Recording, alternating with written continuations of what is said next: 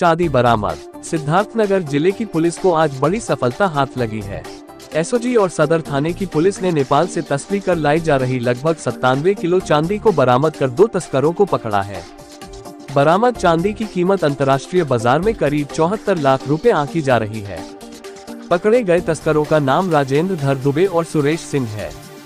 राजेंद्र धर दुबे प्रतापगढ़ और सुरेश सिंह आगरा ज़िले के निवासी बताए जा रहे। इनके पास से एक क्रेटा कार भी बरामद हुई है।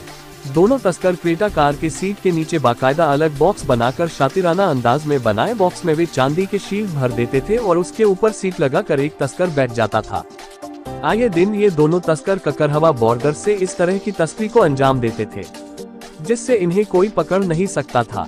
सटीक मुखबिर की सूचना पर सदर क्षेत्र के जमुआर नाले के पास झंडेंगा से आती हुई इनकी गाड़ी को रोककर जब एसओजी और पुलिस ने सघन तलाशी ली तो काफ़ी मशक्कत के बाद उन्हें चांदी की एक खेप मिली और ये शातिर तस्कर पुलिस की गिरफ्त में आ सके।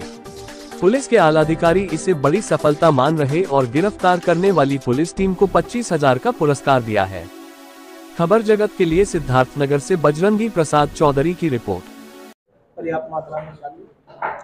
ये सूचना प्राप्त हो रही थी कि नेपाल बॉर्डर से चांदी की तस्करी की जा रही है। इस संबंध में थाना सिद्धार्थनगर और एसओजी टीम का एक विशेष टीम का गठन किया गया था ताकि इस तस्करी वाले गैंग को पकड़ा जा सके।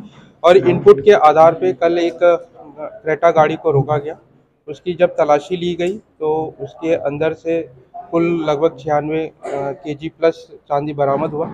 इसमें साढ़े तीन किलो तो चांदी की ज्वेलरी थी बाकी लगभग तिरानवे किलो प्लस बारह चांदी की ईंटें के रूप में था। इन लोगों ने बहुत ही चालाकी से अपने गाड़ी को मॉडिफाई किया था और जो सीट होती है उसके नीचे एक स्पेस बनाया हुआ था जिसमें इन्होंने छुपा के रखा हुआ था जो आम चेकिंग में दे आ, मिलना बहुत ही मुश्किल है।